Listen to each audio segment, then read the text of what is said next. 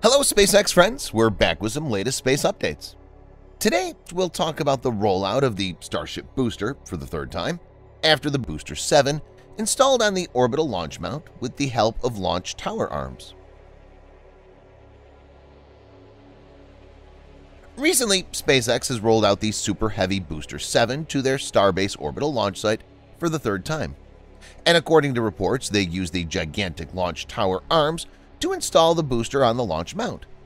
After the booster has been fully secured by 20 clamps in the mount, the SpaceX engineers will connect the booster with the ground systems in the pad. Some sources state that SpaceX can easily go for another round of pre-flight testing of Booster 7 by the 27th of June.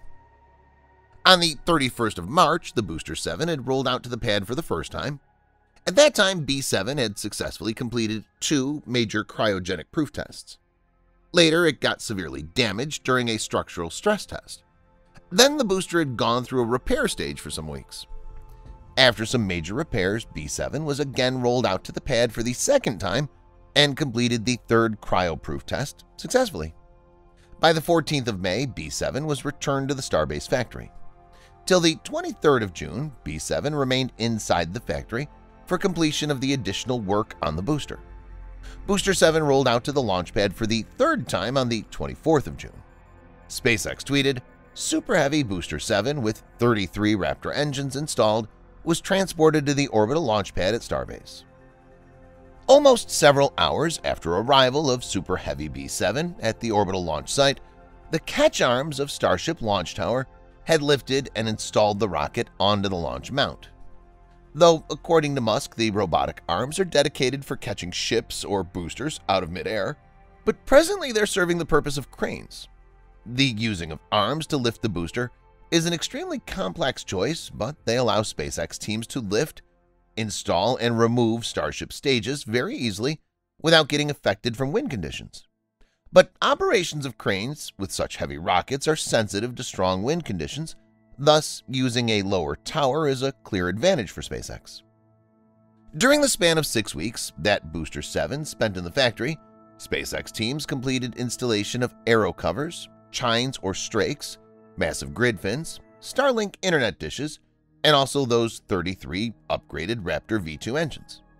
Moreover, SpaceX also finished installing heat shields on Raptor engines. According to reports, it's encouraging to note that what took SpaceX teams almost six months to complete the additional work of Booster 4. They've completed almost the same amount of work on Booster 7 in just six weeks. Booster 4's slow progression may have happened due to SpaceX not taking its testings as objects of priority. But in the case of Booster 7, static fire testing is the topmost priority in 2022.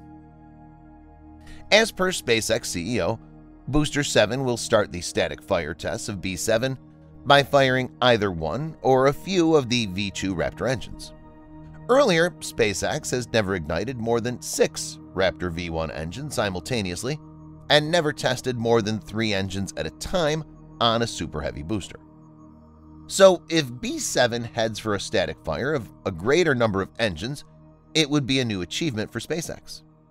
But prior to actual static fire tests, they'll need to carry out a wet dress rehearsal of Booster 7, now, if SpaceX attempts a wet dress rehearsal, they'll need to fill the booster with almost 3,000 tons of liquid oxygen and liquid methane. So from these figures, it's clear that the B7 WDR and static fire test will be a first for Super Heavy and just as big of a test for the orbital launch site. Thanks for watching.